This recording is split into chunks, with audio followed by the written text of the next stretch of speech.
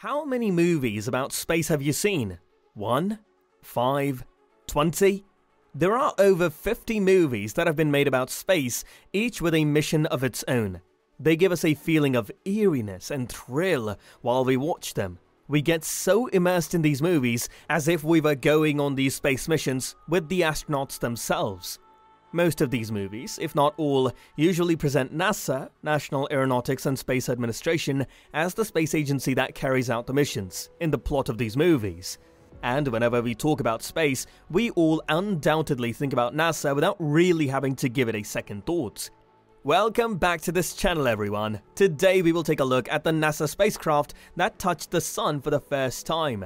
We see the sun every day, but yet we don't know anything about it. But this new achievement will change that all. If you like today's video topic, make sure to like this video and watch till the end to find out how NASA achieved this. How it all began. A little over 60 years ago, NASA was created to understand the planets, stars, and sun in space. They had an understanding back in 1958 that the sun did behave in a certain way, and after years of planning, they achieved the first ever entry into the sun's atmosphere. The spacecraft, called the Parker Solar Probe, was created and launched in 2018, and after three years on the 28th of April 2021, has finally reached the Sun's atmosphere, known as the Corona after eight flybys around the Sun, making it the first spacecraft to enter the Sun's atmosphere. This project was announced in the year 2009.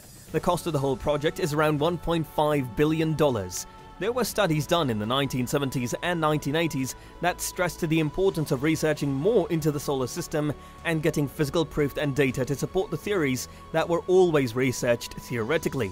There was a need to build a spacecraft and probes, but due to how much it cost, the plans were always postponed.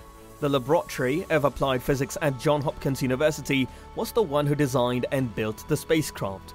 The Parker Solar Probe crossed the Alfvén critical surface, which is between the end of the solar winds and the beginning of the Sun's atmosphere. A major portion of this mission was for the solar probe to cross the Alfvén point to be able to fly into the solar atmosphere. According to the solar probe's data, the spacecraft entered the corona atmosphere around three times on April 28th. Findings of Parker Solar Probe Within the corona atmosphere, the spacecraft took samples of the particles and magnetic fields in space the samples taken by the Parker Solar Probe, and the repetitive entry into the corona atmosphere resulted in the discovery of switchbacks, which are magnetic zigzag particles found in the solar wind and were found to be originating on the Sun's surface. These magnetic particles were found in 2019 by the spacecraft and are common in the solar wind. However, how they're created and what other places they specifically are found in is still a mystery to NASA scientists. These particles have an impact on the solar system, and having a deeper knowledge about this impact can help scientists understand the influence the Sun has on the Earth. The main aim for this mission for NASA is to be able to trace the energy and heat moving through the solar corona atmosphere, and also to be able to understand what increases the solar winds and the solar energetic particles. The size of the corona atmosphere depends upon the Sun's activity, which has a pattern of increasing every 11 years. Another finding of the solar probe is that the outer boundary of the corona isn't smooth, but instead it's uneven and bumpy, jutting out in places. When the solar probe first entered the corona atmosphere, it stayed there for about 5 hours, where it gathered information about the solar wind and the magnetic fields. This was not the only time the spacecraft entered the corona atmosphere, and will not be the last either, as there are more passages planned for the future with the next one expected to come up in January the Parker Solar Probe. The Solar Probe was named after Eugene Parker, who was the scientist who had first suggested that the Sun sent out a tiny stream of particles unseen to the human eye. He called this stream of particles the solar wind. Back then, when the pursuit of the knowledge of the solar system had just begun, people did not believe him, but it turned out that he was right. Fast forward to now, when we have the technology to prove such things right with scientific data and statistics. The spacecraft itself was able to make this tremendous feat and get so close to the Sun due to the way it was built, as well as the materials it was constructed with.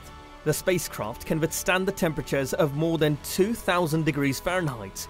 The heat-tolerant chemical materials used for the solar probe that make it so durable are sapphire, niobium, tungsten, and molybdenum. The spacecraft, which is about the size of a small car, is protected from the sun by a 4.5 inch thick carbon composite shield, which is in front of the body of the spacecraft for protection. When it is the closest to the sun, it faces temperatures reaching up to 2500 degrees Fahrenheit. The probe and heat shield have a layer of a white reflective alumina surface which minimizes heat absorption. Without this alumina surface layer, the probe would be destroyed and become non-functional within some seconds. Currently, the probe has completed its 10th approach to the Sun on November 21st, coming the closest to the solar surface so far at 5.3 million miles away. The probe itself is covered with a thick foam that keeps it cool while it works near the sun. The solar probe flies at over 430,000 miles per hour and can go from the Earth to the Moon in under an hour, and from Washington DC to Philadelphia in a second. This constant movement with this high speed ensures that the craft doesn't face any heat damage. Future of Parker Solar Probe even though the spacecraft has offered so much information already, there is still a lot of work that it needs to do. As planned by NASA, the Solar Probe will approach the Sun around 24 times, and by 2025 it will be the closest to the Sun than it has ever been, which will be only around 3.8 million miles away from the Sun. A high level of solar activity is expected in 2025, Gaining more technical data from the samples from Corona will help scientists understand, as well as forecast extreme weather events in space that can damage the satellites around the Earth, as well as cut off or disrupt communication between Earth and space. The solar winds ejected from the Sun's atmosphere have the ability to reach Earth, and scientists are trying to learn more about the solar phenomenons occurring millions of miles away.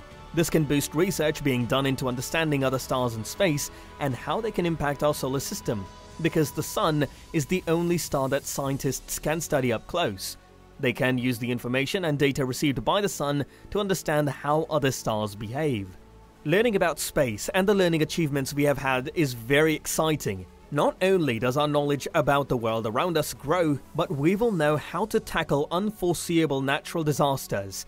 And who knows, with enough technological advancement and preparation, we could even prevent the Earth from being destroyed but hopefully it won't come to that. There were a lot of risks involved in sending this spacecraft to the surface of the Sun successfully, being that it had to function in a thermal environment. But NASA was successfully able to achieve that and more. If you liked this video and would like to watch more videos on topics like this, then don't forget to subscribe to our channel and click the bell icon so that you never have to miss out on any of our videos. We'll see you in the next one. Until then, peace.